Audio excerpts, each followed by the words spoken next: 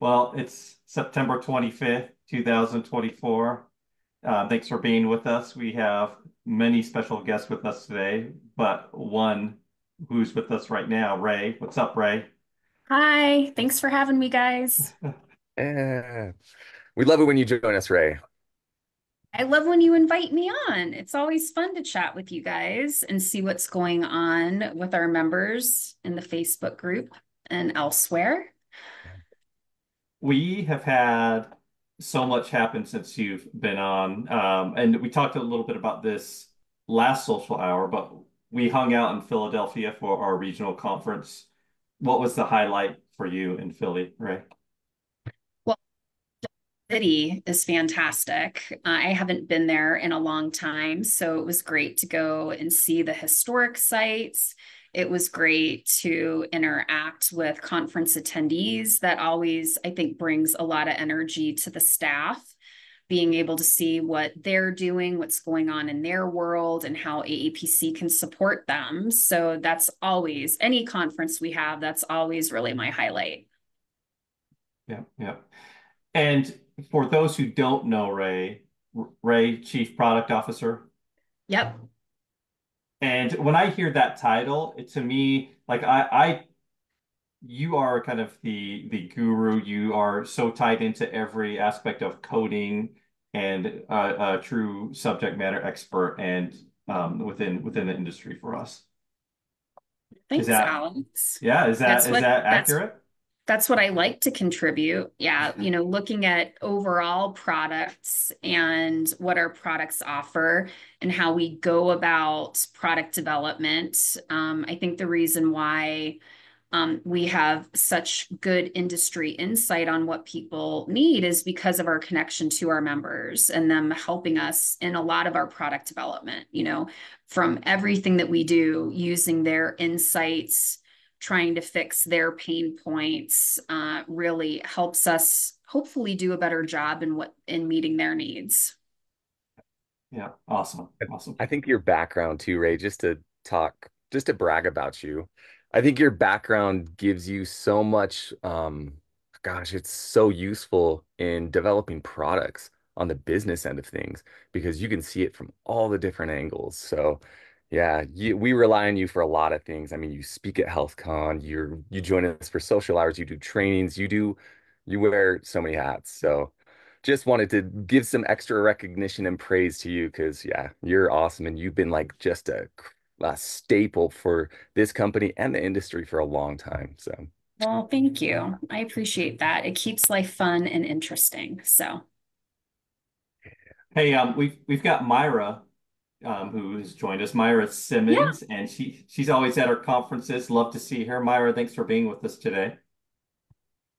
And Dave, uh, before we went on, uh, you're back at Mount the foothills or a base camp for Mount Shasta.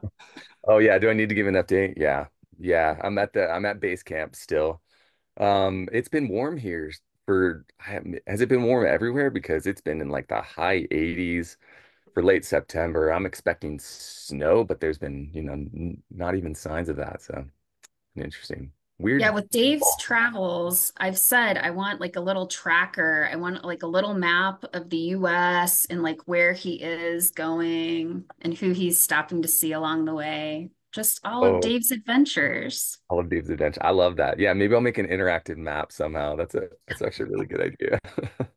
Well, Dave, I don't know if you've ever heard this proposal by Ray, but she thought it would be fun to get like a AAPC wrapped tour bus of sorts, and then we hit the road and hit our, our chapters across. Hit the, the road and go and go visit members where they work and go visit chapters. You know, we can do that. Where in the world is Dave Kaiser in his uh, journey across AAPC? Yeah, Actually, Alex, I talked to him about it a lot in Philadelphia, and I think he's on board. Even Dr. Church said he thought it was a great idea when we were talking to him about it. So, yes, well, yeah, everybody's very encouraging about it. And honestly, I would be all for it. I think that would be such a fun adventure, and I would yeah. love to interact. One of the, my favorite things, not only about being a part of the company, but well, about conference, all of that is just interacting with everybody, all the members, and to me, that's really what it's all about: is seeing everybody just their lives getting better and improving. So Yep. let's do it. Hey Dave, has my life gotten better and improved since you've known me? Oh, Am I am I headed got better? upward or Well, I don't know.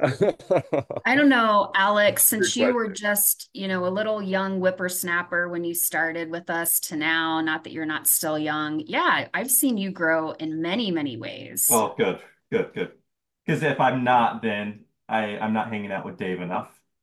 Oh, well, thank you. One of the one of the uh one of my favorite things was meeting Alex for the first time back at our it was uh, I think it was our old office. It's our old Yeah. office. Yeah. Well, I know we had Asian for lunch that day. I don't know. I think it might have been a Thai restaurant. Oh, Was that right? Is that the right place? Yeah, it was some Asian something that they brought in. Yeah. Yeah. But I remember Alex just being the most friendly guy and he was just just wanted to get to know me and and I had been with the company already for a little while, but I was like, who is this guy? He's awesome. So, but since then, Alex, you've become, you know, another the two of you really like, you know, are the faces of AAPC. So it's so cool just how things have changed over the years and There are a lot of amazing people that work for APC, and I know many of our viewers who are watching, um, in, who includes Jackie right now, Caprio. She's watching. She says she loves you, Ray.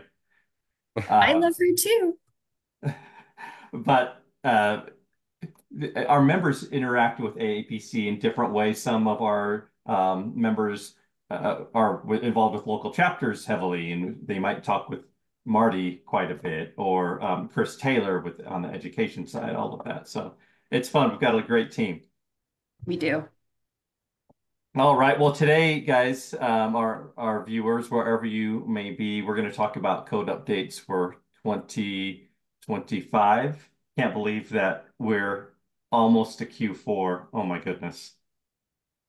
And um, looking forward to that. But I know there there have been articles, or at least one article in Health or AAPC, the magazine. I almost called it Healthcare Business Monthly um, covering this topic, and we have webinars and workshops that um, have been rolled out to cover these um, updates to keep you guys informed. But we also have a great panel today, and I'm going to let them in right now. sweet. Yes. All right. Claire Stevenson, how's your life? It's fantastic. I just got back from vacation. Oh, that's good. Share more. Where did you go? Uh, we went to a wedding and then went to go see a concert in Seattle. So it was a busy weekend. Nice. Who'd you see? Uh, Green Day. Oh, It was awesome. Friends of mine saw them, I think in Denver, and they said it was amazing. I think it was Denver. I can't It- remember. It was a fantastic show. And actually, uh, I've been trying to see them for about 12 years now, and I've been thwarted every time, but this was my third attempt. And so third time's a charm. Nice. That's awesome. Were you close I- enough to feel Billie Joe's spit on you or anything like that? No, unfortunately not. Unfortunately, not that close. I'm Still- old. I need to sit down now. All that energy. I remember where I was when I bought Dookie. Is a blockbuster music. The Yeah. album. Yeah, Was their- exactly. That was their first album, right? That was the first one, and it's actually the 30th anniversary of that. I'm sorry. I can't believe it. That is They amazing. actually played the entire album in it, like in its entirety for the concert. It was really cool. That's cool. Where were you when hate you it- bought the album, Alex? You said that you were talking Oh about yeah, you remember Blockbuster music? There's Blockbuster video, but for a split second there was Blockbuster music. headphones Yeah, on. yes, you can open any CD and listen to it. That was awesome. And what's a CD now, right? Exactly. I had the tape of Dookie, Oh, Do you? that Green Day mm-hmm. album. Yeah. I Yeah. don't know. Yeah. But yeah, I have the tape. it's a good one. It's a good one. Heather, you have you been listening to Green Day lately? Uh, no, no, no. I've been I've been working hard. Oh, Heather, um, how are things in your neck of the woods? They're going really well. So, um, getting some cool weather from some of this uh, uh the hurricanes, and I guess we're gonna get a little bit more, but up where I'm at, we just get the rain and some nice breezes. We don't get the the destruction that's coming through, but um, so we get to enjoy Yeah. it. It's cooled off. Remind us where you're at, Heather. I'm, I'm in Kentucky, central Kentucky. Okay. Okay. Yeah. And I guess that's that's a great time to give a shout out to our um, friends in Florida. You know, stay safe. I I hear hurricane weather is headed your direction. Um, so uh, hunker down. And uh, yeah, we just, we're thinking about you and, and hope um, this rolls through your town um, without much impact. So Yeah, that's one thing hey, I ha- don't miss about living in Florida is the hurricanes. So yeah. Yeah. Hope they're all safe. you traded hurricanes for massive, well, I don't know, massive amounts of snow, but some snow. Yeah. Well, and av uh, avalanche things too. So now my husband says we've lived under every type of weather thing that could happen, hurricanes, earthquakes, and now avalanches. So Every natural you go. disaster. Yeah. Yeah, crazy. Was there a place in the US that doesn't have some sort of some sort of something, right? I mean, Tornado. you've got tornadoes, you've Earthquakes, got earthquakes floods. on the West Coast, you've got yeah, Yep. you know, all that. I think when I was in Waco, Texas, I felt like I was in a little bit of a pocket because I was a little further away from the hurricane stuff, but like a little further south from all the tornado, Oklahoma, northern Texas stuff, but no earthquakes. All Um, right. like you gotta deal with Oh, something, no matter where you're at. yeah. Yep. Uh, we we talked about Ray joining us. She's not with us often, but Claire and Heather have become regulars. I feel like you guys have been on at least a handful of times over the last few months. And um, Claire, um, when she first came on, was not an AAPC employee, and now um, here she is, a part of the team, and it's fun to to have you guys um, back with us. So we're going to kick off this discussion about um, 2026 code updates. Um, Ray, are you? Would you be okay with leading us in? Kind of give us a little summary of how you see code updates are impacting our users or customers and members this year. Um, so, I mean, we've got a variety of kind of themes and topics throughout the code sets that change. And I, I think what's exciting is everyone's like, what's in store for us this year and how do we get prepared for it? So there comes some excitement to see what's what's new coming up. Um, when we perform the education around code updates, it's really something that we have um, set aside webinar series for in order to handle code updates. And it's to give an overview and help members and coders, those in industry, get prepared for the changes. So we have that on the schedule every single year for our webinar subscribers. And then um, depending on the volume of code updates, um, it could end up being a workshop. And every year, because of the number of CPT code updates that we do, that is a workshop that we do annually. And the, I guess, the say the difference between a webinar and a workshop is during the workshop, it's a longer period of time. It's interactive. We give cases so that people can apply the new codes. Um, we've done this for ICD 10 as well, but it really just depends on the number of changes. And every year we have fluctuations of sometimes we're really heavy with ICD 10, sometimes we're a little lighter. Same thing with CPT. Okay. All right. And I know, um, uh, have we had, have we presented any of our workshops or webinars yet? So for ICD-10 CM and ICD-10 PCS, yes, we've had those webinars um, in September.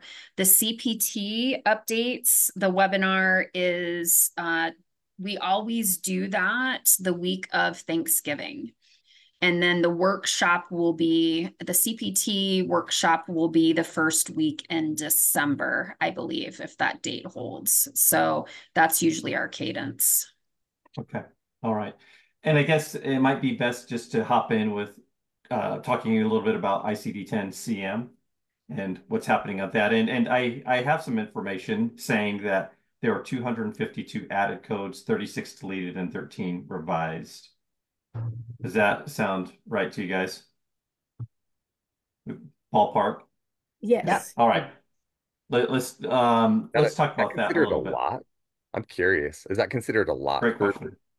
For yearly updates, or is that just a little bit? Yeah, I, I think it's probably um kind of a, little below average. Um, in my mind, it's not, and and I guess it depends on the code changes, right? So this is a lot of clarification. There's more specificity, and so you may have a parent code that breaks down into uh, multiple. Uh, we could call them child codes, or it's another subdivision of it. So you're still having the same diagnosis, just more specificity of it. And I think that's a, a number of the code changes that we had this year is that breakdown. Yeah. Yeah, I guess we know when we start uh when we have these webinars and we watch them and we see how long they go for, right? Because some of them, I think some years they've been kind of shorter webinars and sometimes it takes up the full hour because there's so many changes. Ray, did you recently do one of those webinars? Didn't you do Um, CM? Yes. No, I, I didn't do any of the ICD-10. You're usually on with me for CPT, and there's some years where I can't even breathe and we're going full steam ahead. Um, and I can talk a little bit, once we get through ICD-10, I can talk a little bit about CPT and what's coming. All right. Claire, would you like to take a give us a little overview on how you see the updates for I-10 um, could affect our users or what what things do you see in that code set for the new year? Sure. Um, I agree with Heather. There was just a lot of um, there was a lot of codes that were converted to parent and child codes were added to uh, increase specificity. Um, for example, for the lymphoma codes, um, there's now an option for in remission that wasn't there um, for all of the lymphoma codes. Um, one that I saw that was a little near and dear to my heart with my bariatric coding background was obesity specified by class because you just cannot get the providers to not specify it by class for you. um, or to say severe or morbid instead of class.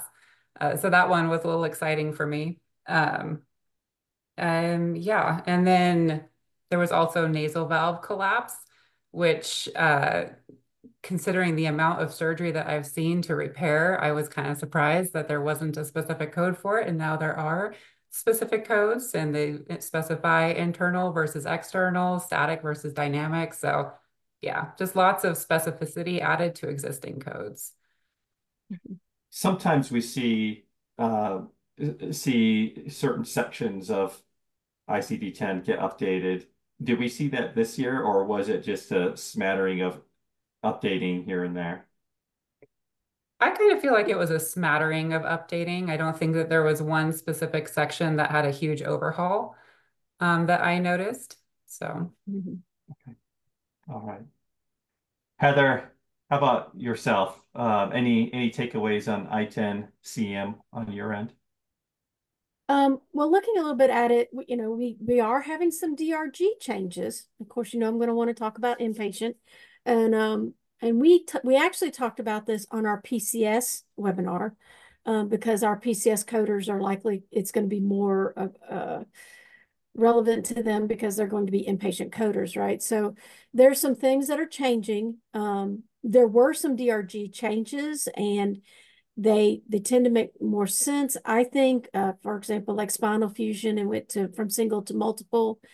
Um, but how they're going to be um, calculating what a DRG is, um, how what the reimbursement is going to be is is changing in in the in the process of changing. So it's been a couple of years, right? So we're right in the middle of it. So for those of us who are inpatient coders, getting involved in that and understanding and giving feedback to CMS on these changes will be huge.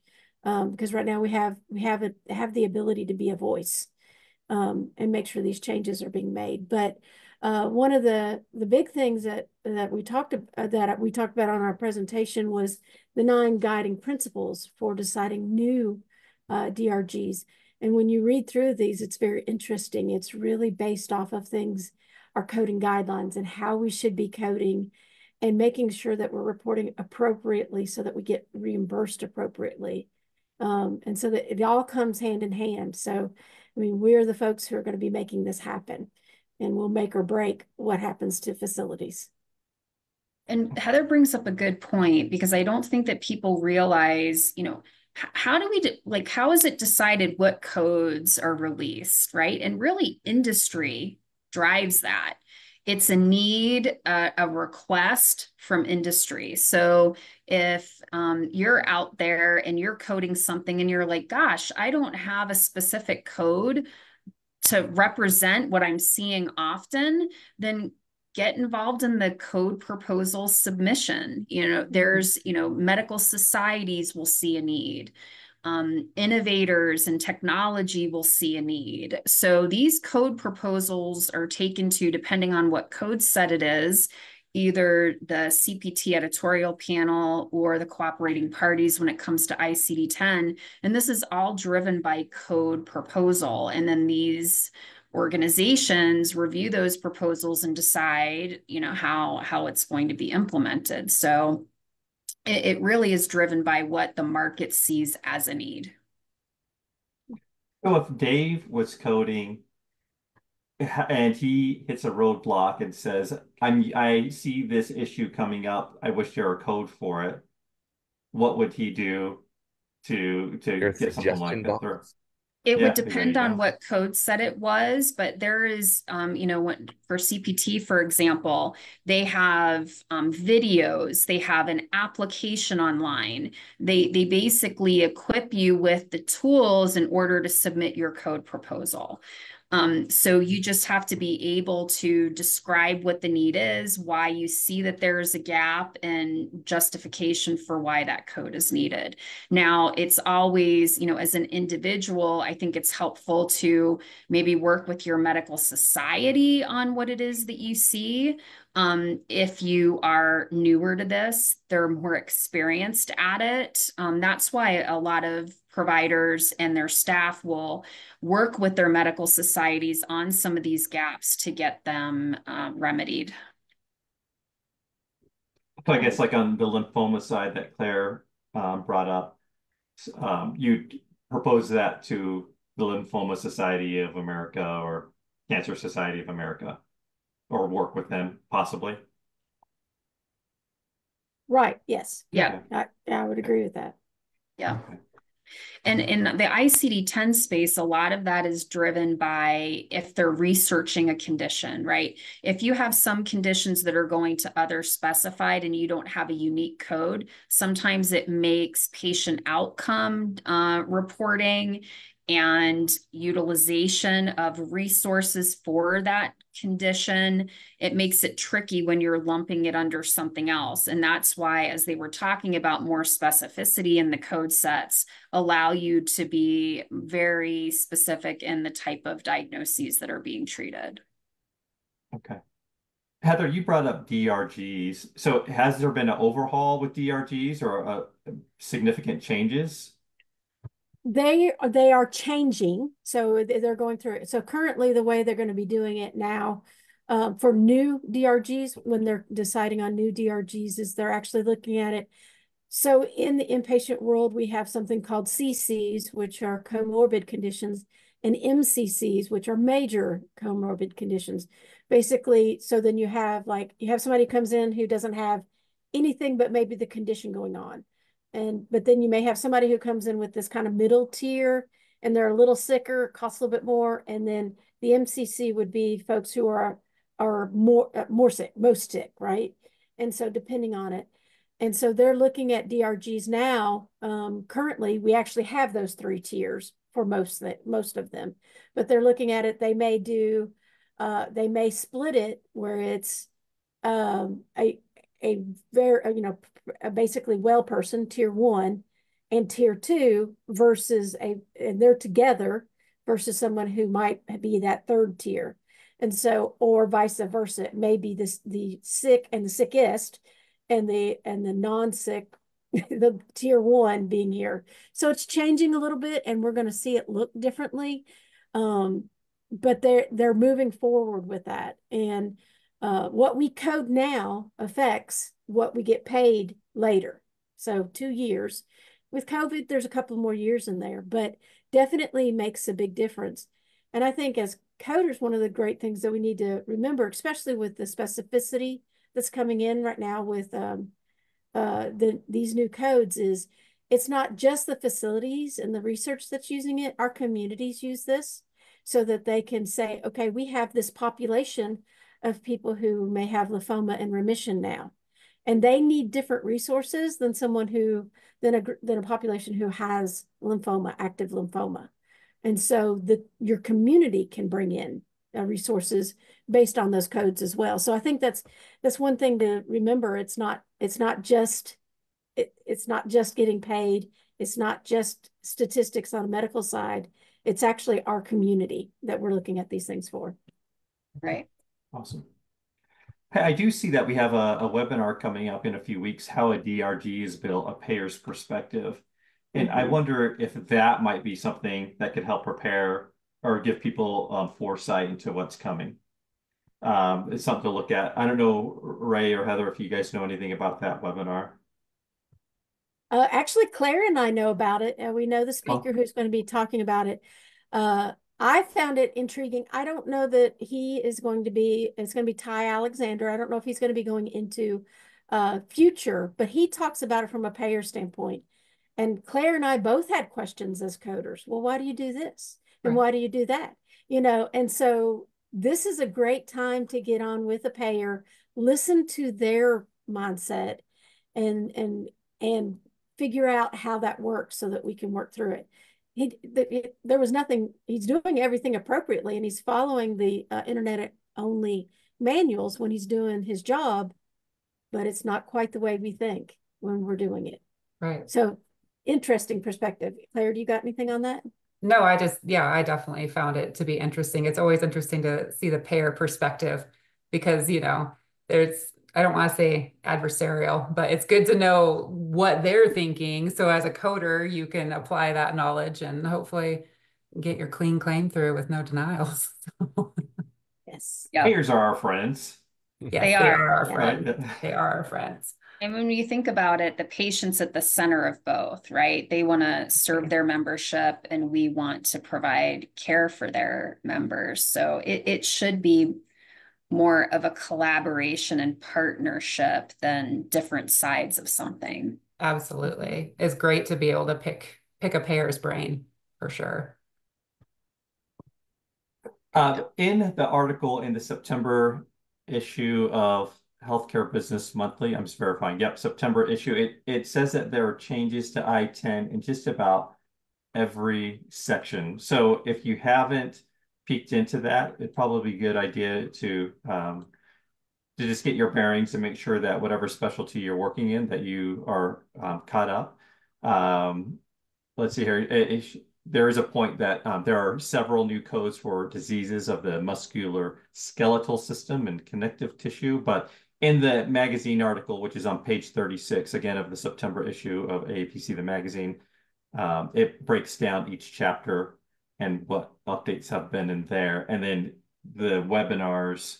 Um, in fact, Jill Young recently presented about the ICD-10 updates. Um, you can get that on demand on our website.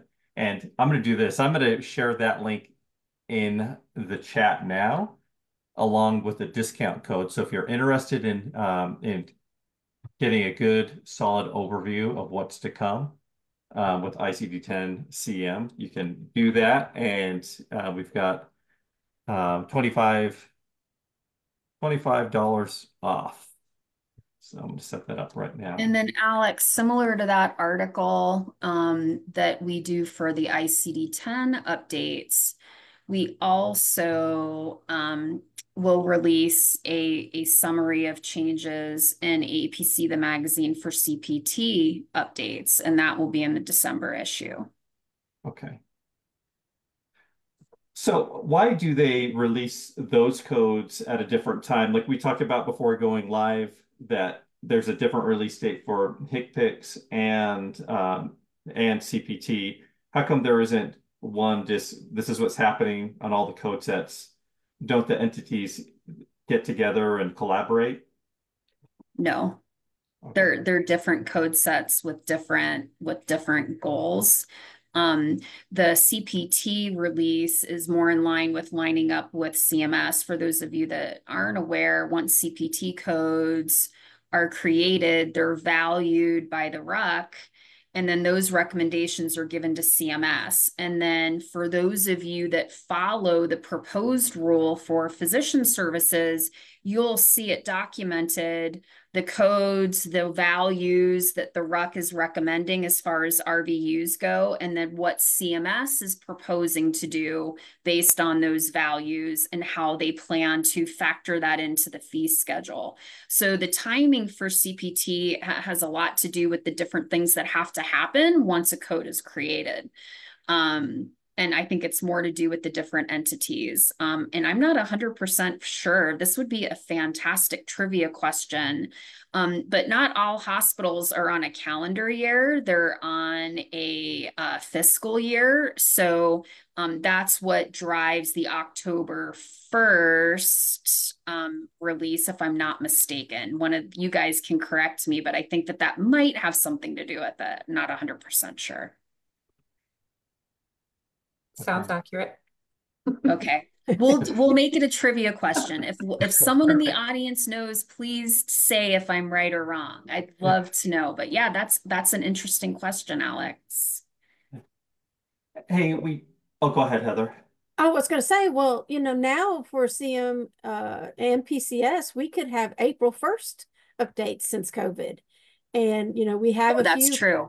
we have a Mhm. few coming now in April. So i- if it was true, I, I don't know that it still stands true. uh, at Right. That, yeah, because they, you know, they're doing that. They have criteria for their April 1st, but um, uh, it has to be like COVID, where there were codes that were necessary for a huge population of people, right? So um, I know they have criteria for it to be changed on that. So um, curious, I'd be curious about that too. But I think I I do think it does have something to do with fiscal year, or did. What would the April 1st date be? Well, I mean, besides April Fool's Day, I don't know if I could trust anything coming out on that day, but I mean, maybe they should try for the 2nd of April or Right. 31st of Hey, we want to start I don't know. everything on the first of everything. Yeah. If you throw like another number in there, it's really going to just turn this industry upside down. We we can't handle that. Right. There's always a rhyme and reason, even if it's I think it's so that you don't have to wait a full year to get active codes to start utilizing to meet a patient need. You know what I mean? So as Yeah. things go more digital, I, I think that we have the ability to get quicker at releasing codes. We we saw that in CPT with all the COVID movement that happened very quickly. Do you think it's that April's just the six month after six months after October? So it's like, okay, we'll You- wait half a year, and then if there's any anything we really need to push out, we can push it out in the April updates. Is that it? Yes. Yep.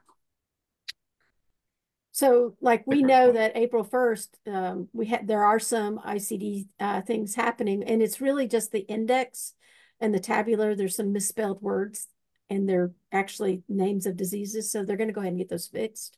So it's going to be things like that where you really kind of want it right. Um, and it needs to be right now versus later.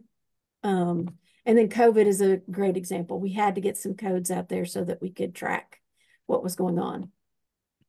So, Okay. Hey, before we jump into PCS, uh, we have Keisha here, and she's struggling to pass her CPC exam. I'm going to read her comment here. She says, anyone want to tell me how to pass the CPC exam? I've done process of elimination, took it four times. She'd love to pass this thing.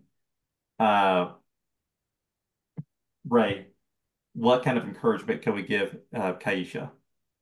I think it depends on um, how she originally prepared. Did she take a full course? Is she trying to attempt this on her own? Is she new or is she working in the field? It depends on on a few things. Um, I know that we have had examinees who have struggled on the exam find uh, success with utilizing the practice exams that we have because the questions are not the same, but they are similar. And we moved the practice exams to our new exam platform so that they're taking the practice exam on the same platform as the certification exam. And that's helped people maneuver in the electronic format to be able to get used to what they're going to be taking the test on. The last thing that you want to do is log into an exam using a platform that you've used for the first time.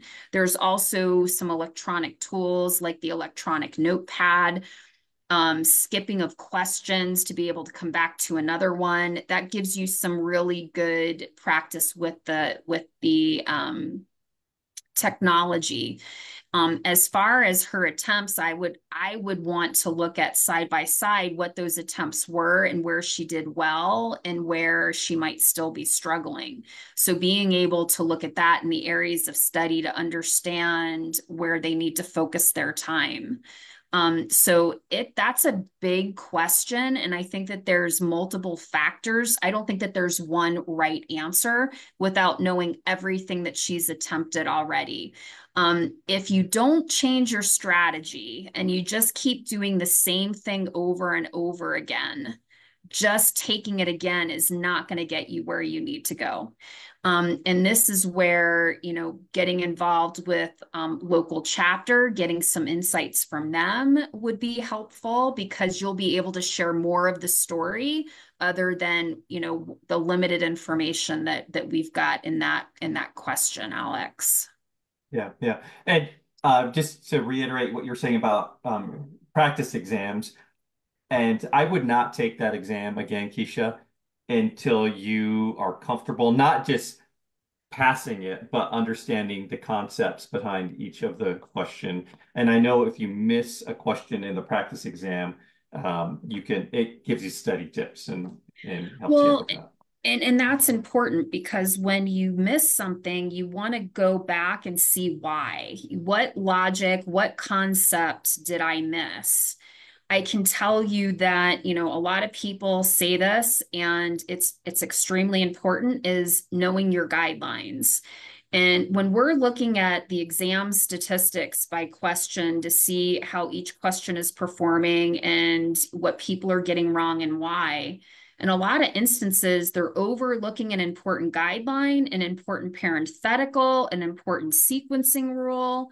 Um, so it's not just the code and the descriptor, but all of the information that's put out to say how to use these codes uh, properly. Yes. Claire, do you have any suggestions for Keisha? Um, my suggestion was going to be go back and take a look at what sections you struggled in and really focus in on that and also the guidelines because the guidelines are so important that's always going to be what you're falling back on to make sure that you're coding correctly. Um, and I think maybe in the testing environment, uh, when you're going through your CPC exam, maybe you're just focusing on looking up that code and putting it in. You need to stop and take a look at what the tabular instructions are telling you, look at what the guidelines are telling you uh, that are applicable to that code instead of just just picking the code and going with it. Dave, you know our resources in and out. Do you have any any suggestions for her? Anything that we're missing? Well, the first thing that that popped up in my mind when I saw that question come in was just um, after taking it several times, I would be looking personally. What I would do, I'd be looking at the areas where I fell short.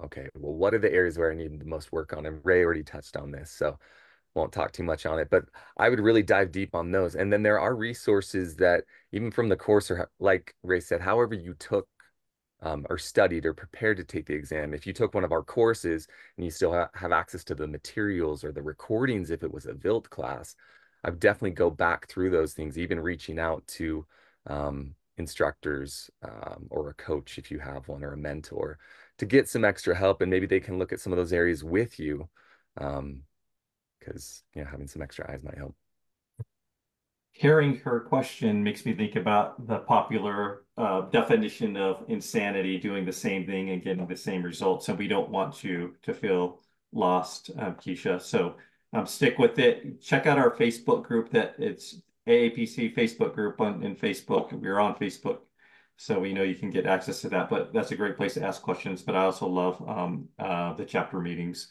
that um, Ray suggested. Okay, we're gonna head to PCS. Heather, that this is your this is your thing, and you recently presented um PCS I, I10 PCS updates for 2025. Lead us into that. Okay, well, I'm going to start and then I'm going to let uh, Claire talk about it because she knows an awful lot of this part of it. So we actually had 371 new codes. We didn't have any revised and there was 61 deleted. So currently, well, starting in 2025, we will have 78,948 codes in PCS. So that's a lot.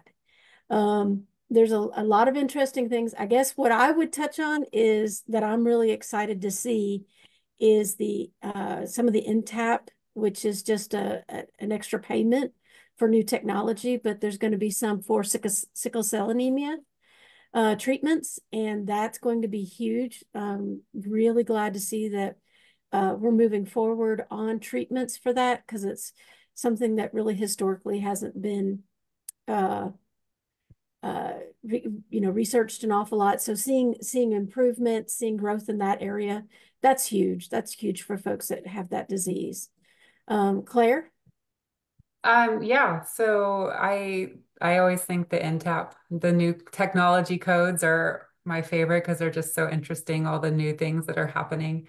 Um, I helped Heather present that webinar and there was just a a couple that stuck out to me that I thought were really cool. Um, I have some uh, orthopedic spine neurosurgery in my background, and there is a new technology code um, for fusion cages, but instead of the intervertebral um, cage, it's actually fusing the facet joints. Uh, so I thought that was really interesting to prevent the facet motion for people with facet joint uh, degeneration or facet syndrome. Um, also a new um, a new implant uh, also for the spine that is made of a material that will not be so obstructive when they're doing MRIs to follow up on to see how the patient is recovering from their procedure. Um, I thought that was really interesting too, is specifically um, targeted at patients who are having um, post-op infections and they need a lot of the follow-up with the MRIs and uh, the imaging and just to see past the uh, instrumentation to make sure that patient is healing effectively. I thought that was pretty neat. Um, but yeah, there's just all sorts of new uh, codes that are really interesting. about that one, Claire. Right? Just because, uh, yeah, kind of getting nerdy a little bit. Not you, but me. No, I um, am. It's okay. Uh, it, is it a different substrate or different uh, substance that they're using, replacing? So it is um, high strength carbon fiber reinforced PEEK material. So I'm not quite as so nerdy to be able to really break that down even further, but that's what it is made out of. Interesting. And so with the imaging, it allows better penetration through the device. Right. You're not going to have those artifacts in the image that are obscuring the uh, the healing process when they're trying to see the healing process. Oh, interesting. That's really cool. So hey, you similar... can't get away from clinical. That's what I get. You know, like right because I know people get, want to get into coding and they're like, I can't handle the clinical side, but you guys still you have to dabbling in that. You have to. Yeah. You have to. You have to understand. You can't translate something you don't understand. Um, but similar to what Claire was talking about, new technology, that's where we see um, a lot of codes being added to CPT for 2025. So new technology, um, medicine is always innovating and there's always they're always coming out with better ways to achieve something and that's where we see category 3 codes being added to CPT to capture that new technology um, we also see in CPT for 2025, a lot of the code changes are going to be lab and path. And a lot of that's driven by the molecular pathology, the genomic codes, a lot of advances in lab technologies. And it's just amazing the data that we can get from some of the tests that they're doing. Um, another thing for CPT, sorry, Alex, I jumped in on her new technology thing. So if you want to go back to PCS, you can, but my mind just started going to where I wanted to go and didn't give you the way to transition. But anyway, uh, other things that CPT will have in store for us is a um, new subsection for telemedicine. And we know um, all of the benefits that we're seeing with access to patient care with telemedicine services. So we have a new series of codes for audio and visual, um, audio and visual codes for new and established patients, as well as audio only. Um, so those are kind of some of the, the three major themes that we see coming out of CPT that's going to handle the bulk of the codes that we're going to be getting in 2025. And when will we see those updates, right? Um, so we'll be talking about them for the first time in the webinar that we're going to have. Um, AMA has the CPT symposium uh, in November where um, they will go over the codes from a clinical perspective as well as a coding perspective. Um, so that's when you'll start seeing education released around these code updates.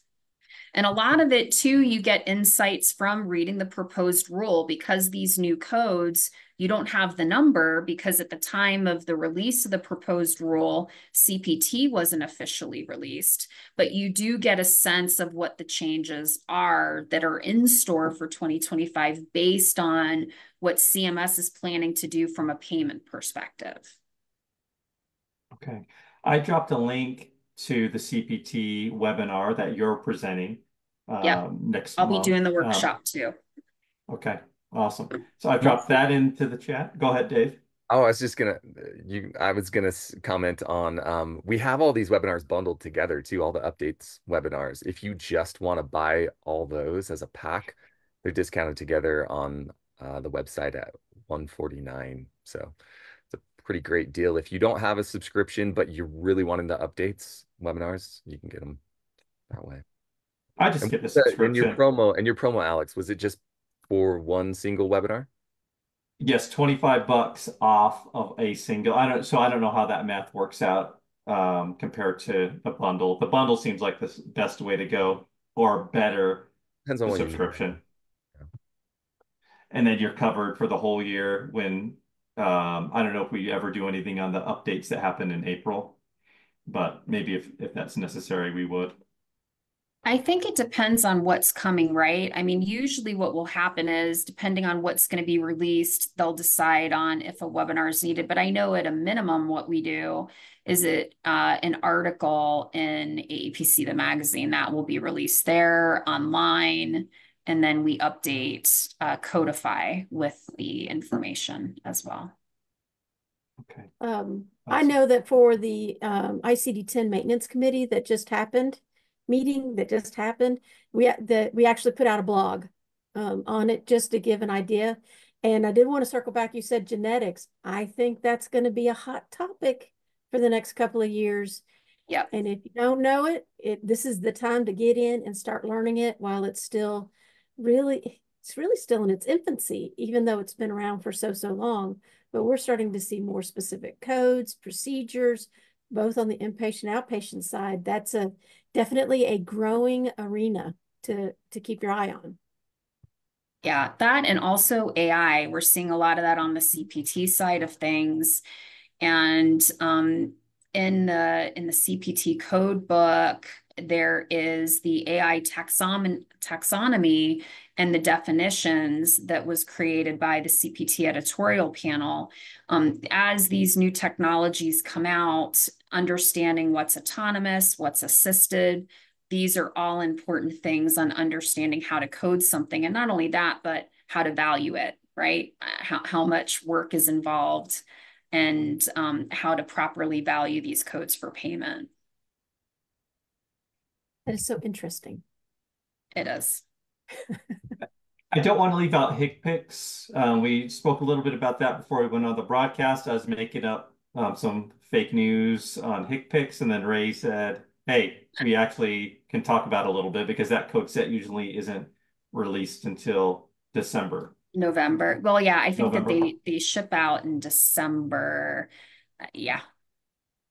It depends on when they're actually released, but I know at a minimum, um, December is when we've is the latest I think that we've had them out.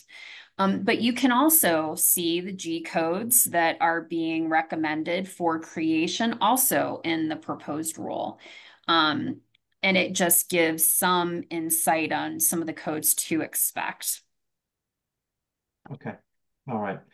And all of these code updates, we get the codes, obviously we, we get the codes and then we we load them up into Codify pretty quick.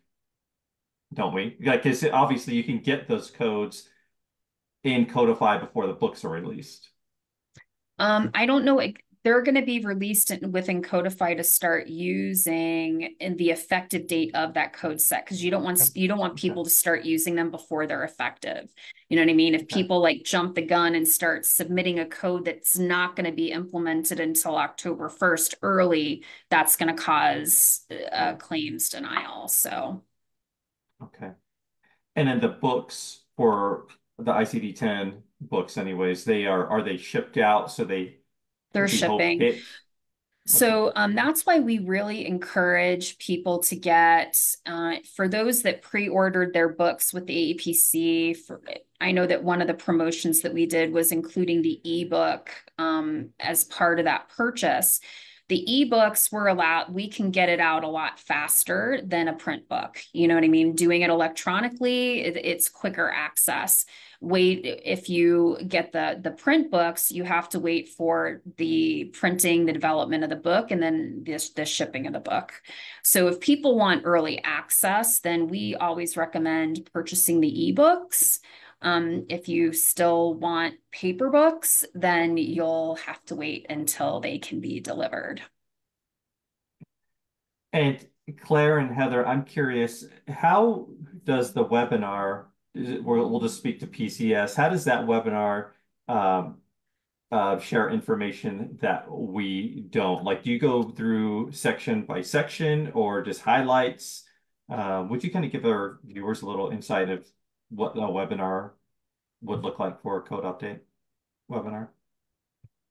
Well, for the PCS updates uh, in particular, um, one thing that we went through and did for the new technology was to put together a spreadsheet of the code, the new technology code, um, the lay terms of what the procedure is, as well as the manufacturer of the new technology being used. And that's super helpful to coders to be able to quickly find that information understand what you're looking at, know that it's new technology, you need to capture it with the X code. Um, so that was something extra that we threw in with our webinar. We also added delay terms to our um, our different uh, PCS codes. Uh, when when Claire and I started working on this together, we thought, how can we make this a little bit more um, uh, something where it's not you're just not looking at a table because if you don't understand PCS, the tables can get uh, well, they can become cumbersome to look at. And so we've added the, the layman's term to it so that you can actually start connecting. Oh, I know what this CPT code is, or I know how my physician does this code. So this is what the table looks like on the inpatient side. Mm -hmm. So we we definitely tried to add information in there that we thought would be most useful uh, to our members and something that they could take away as a resource um, as well when they're going into next year and and starting to understand these changes and how they affect them in their in their job.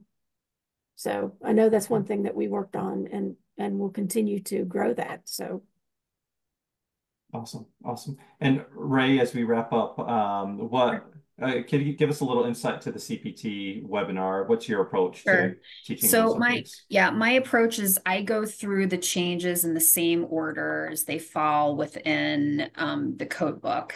So it's meant to kind of follow along as you're looking at the at the book itself. Um, because I I hold the role on the CPT editorial panel as coding liaison for AAPC, um, I'm able to answer questions and give insight because I've been able to hear the code proposals and questions that have come up and how we've ended up at the code and the descriptor that we're at. So that's kind of what what I add to the education is just that firsthand experience of seeing the creation of these codes. Okay. Awesome. Awesome. Hey, um, Quantus is asking the the viewers if anybody's used Codify Quantus, you can get a free codified trial on the website. Um, so if you just take a look over there, give it a shot, and um, no no risk on that. Dave, do you have any comments about what what is your favorite code update for 2025? oh, for 2025? Oh man, I just uh just barely cracked that one open. I'm still searching for my favorite. You're smelling the paper. I do like uh, all the I do all I do like all the new technological stuff because I think that there are some think that we're we need to be pushing forward into all of that uh, probably much quicker than we have been and solving some of these underlying conditions not just putting band-aids and you know on yeah. anyway um yeah pretty pretty passionate about health in general so i think it's cool that um you know we're in an industry where we get to see kind of what's coming down the pipe and what's changing and all of that so no, it's always interesting hearing the updates from you guys, um, you know, our experts. I'm surprised. Alex, what's your favorite? Alex, what's your favorite code? My favorite code. Uh, yeah. I, I don't. I love them all so much, and I don't want one to feel left out. So I love them all, but I will say, I, I love what Dave was saying, and it's interesting to hear AI creeping into code sets and we had that, um, we not had, but have an AI webinar for our members that offers a CEU. That still lives on with power. There's a post in our Facebook group about that. People find that very valuable. Oh, it's not just a webinar, Alex. That's a course. So oh. it's, yeah. Okay. And it's uh, free to members. So if you haven't checked that out, it's Correct. on our website. Go into your portal. Um, and you can message me um, directly if you need help getting to there. But so much is changing. I love it. Um, guys, stick with me as we wrap this up. I'm just going to let everybody know if you're listening to this on the AAPC podcast, I will post links in the podcast description to the um, to the webinars, uh, the PCS webinar that Heather and Claire are presenting, Ray's webinar on CPT, and the others. Um, and we hope to see you in just a few weeks. Don't hang up, um, guess I'm gonna I'm gonna release us from the Facebook world. Everybody, we will see you the second week of um, of October. See you, everybody. Bye.